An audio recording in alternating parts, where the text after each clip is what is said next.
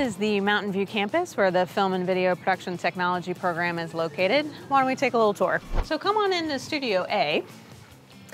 This is where a lot of our multicam classes are going to take place. So as you can see, this is set up kind of like a news set so we can get students experience in doing multicam production using different cameras and then there will be students here anchoring as well as doing any kind of studio production producing. So this is the control room and this room's really neat because we can basically control cameras from either side of our studios. So this is where all the operations would happen in directing a show, running the audio audio board, teleprompter, producing, directing, and really just kind of learning those behind the scenes jobs for multicam production. So this is one of our computer labs, and this is pretty much what all of them look like. We run a Mac lab in two of our spaces and a PC lab in the other so that students can get some experience on both platforms for editing and just kind of everyday computer use. So a lot of classes will take place in here and we do a lot of hands-on with the camera gear in here as well. So this is Studio B, and this is more of a sound stage style.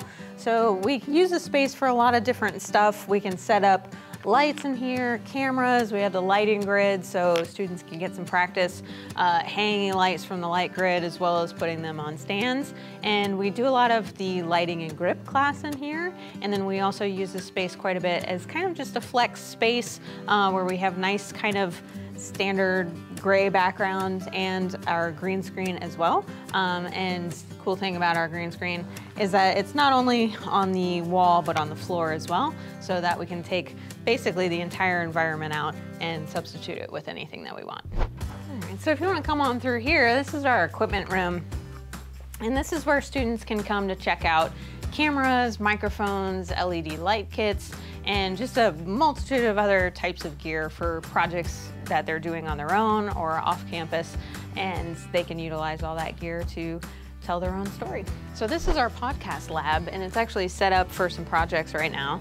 and as you can see, we've got several microphones all running to an audio board that gets recorded on the computer. And we've got all the soundproofing so that we can basically make professional podcast or broadcasting of, of, audio. For more information on the program, students and prospective students can visit our website. We've got a lot of great information on there as well as a couple links that might be of interest.